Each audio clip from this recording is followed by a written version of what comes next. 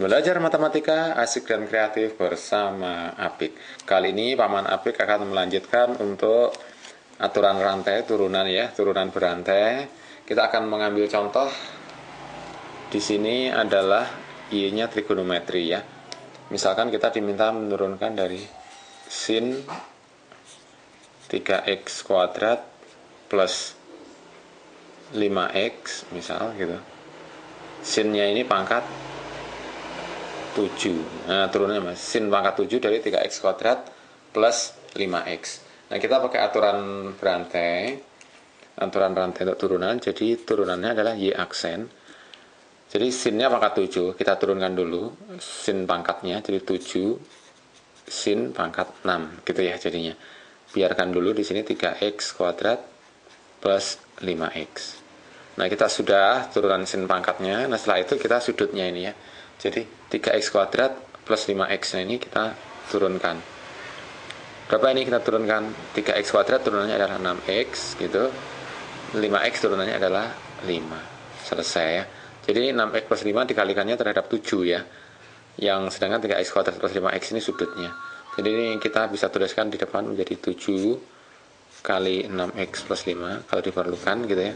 Sin pangkat 6 dari 3x kuadrat plus 5x.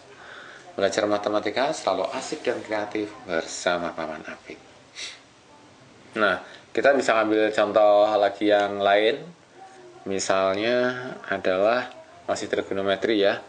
Boleh trigonometri, misalnya Paman Apik punya yang gampang saja sin pangkat 10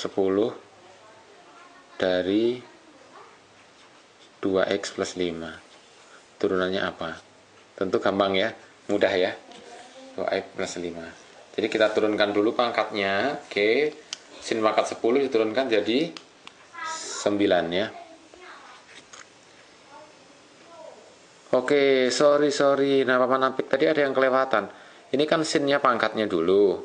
Jadi, jadi sin 7 sin pangkat 6 yang tadi. Nah, kemudian sinnya sendiri diturunkan. Wah, ya oke ya, ini direvisi ya, revisi dulu revisi dulu. Nah revisi dulu.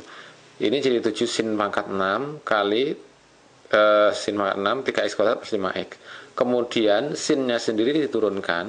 Nah sinnya sendiri diturunkan ya. 7 sin pangkat 6 dari 3x kuadrat plus 5x nah turunan dari sin sendiri apa? Cos kan? Ya. Cos jadinya. Jadi sin turunan sin ya diturunkan terhadap sin.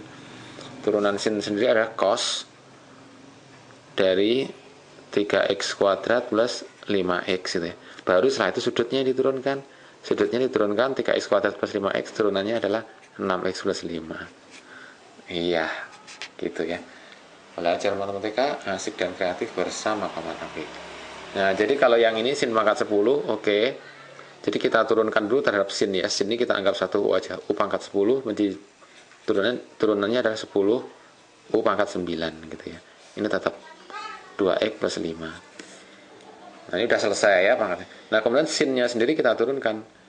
Turunan dari sin ya sin u yang turunan dari sin u adalah cos u gitu kan? Jadi kita kalikan dengan cos u.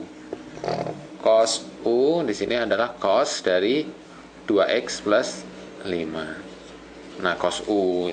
Nah ini u sendiri bisa kita turunkan 2x plus 5 2x plus 5 turunannya adalah 2 Nah ini kita kalikan ya. Duanya bisa di depan ya. Nanti 2 kali 10 jadi 20 ya. 20 kalau mau kita tulis sin pangkat 9 lumayan ya. 2x plus 5 kali cos 2x plus 5. Tentu saja ini bentuknya macam-macam ya sin kali cos. Nanti mungkin aja dirubah ke yang lain. Belajar matematika selalu asik dan kreatif bersama Paman Nabi.